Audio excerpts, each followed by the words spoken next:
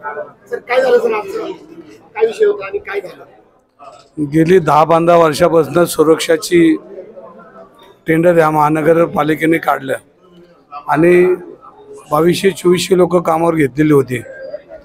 पण मधल्या काळामध्ये काही प्रशासक आणि काही नगरसेवक लोकांनी जुनी लोकांना काढून नवीन लोक भरली. आणि त्यामुळं आत्ता दोन ते दोनशे ते अडीचशे लोकांना घरी बसावं लागलं. त्यासाठी त्यांनी वेळोवेळीच महानगरपालिकेचे आयुक्त असतील प्रशासकीय अधिकारी असतील त्यांच्याशी संपर्क साधला.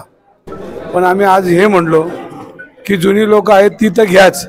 नवीन लोकांना घेतलं असेल तर त्यांना काढू नका. पण जुन्या लोकांना ज्यांनी दहा दहा पंधरा पंधरा वर्ष काम केले त्यांना कामावर घ्या. आज दो- ते उपोषणला बसलेले आहेत. काही लोकांशी मी त्यांच्या बोललो आहे आणि आज माधव जगतापांशी बोलल्यानंतर त्यांनी उद्या दोनशे लोकांना बोलून घ्या आणि सोयीस्करपणे त्यांना कामं कसं घेता येईल यासाठी प्रयत्न करा म्हणून विटकर साहेब असीन केंद्रे साहेब असीन यांना त्यांनी आदेश दिलेले आहेत. परंतु त्या ठिकाणी जे उपोषणला बसले ते उपोषण चालू ठेवणार आहेत. उद्या दोनशे लोकांना बोलवल्यानंतर जी लोक घेतील त्यानंतर ते उपोषण सोडतील असं ते त्यांचं बोलण्यात आलं. पण माधव जगताप साहेबांनी आता सांगितलं की सगळ्यांना घेण्याचा प्रयत्न करतो.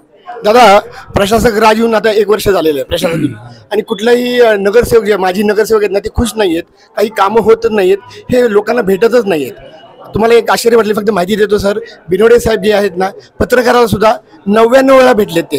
स्लिप देऊन. आणि ते भेटतच नाहीत. मग लोकांचे प्रॉब्लेम सॉल्व्ह कसे होणार सर? नाही बघा ह्या निवडणुका का लांबल्या कोणी लांबवल्या हे तुम्हाला माहिती आहे. आणि ह्या ह्याच्यात आता पडायची आपल्याला सगळ्यांना माहिती आहे. वर्तमानपत्रातनं वाचतो कोर्टात गेलेत. सध्याचं रा शासन काय करतं हे सगळ्यांना माहिती आहे. आणि मग ह्याच्यामुळं आज जी परिस्थिती उद्भवली आज प्रशासनाला बी काम करता येत नाही.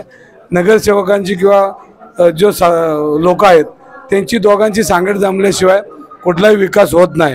आज प्रशासन ज्या पद्धतीने काम करत आहेत त्यांनाही हे काम करताना अडचणी वाढतात. आणि आत्ता ज्या वर्षभरामध्ये सत्ताधारी लोकांची अजून छाया काही अधिकाऱ्यांवर आहे. आणि त्या छायेमुळंच आज अ, सुरक्षा अ, चे जे कर्मचारी आहेत त्यांना रस्त्यावर बसावं लागलं तर ती छाया संपवण्यासाठी लवकर निवडणुका घेतल्या पाहिजेत जनता पाच वर्ष इथला कारभार बघते त्याचं उत्तर जनता निवडणुकीत देते. दादा तुमच्यावर सगळ्यांचा प्रेम आहे आणि विश्वास आहे. तुम्ही कामं प्रॉब्लेम सॉल्व्ह करता पण तुम्ही किती लोकांची सॉल्व्ह करणार? सर बघा सर इथं तुमच्या प्रेमासाठी सगळे जमलेले आहेत. तुम्ही एकटे कितीला पुरणार आहात? नाही आपण लढणारा कार्यकर्ता जेवढं लढता येईल तेवढं लढू आणि लोकांशी ज्या मागण्या त्या लोकांशी मागून अधिकाऱ्यांशी बोलून चर्चा करून धन्यवाद सर.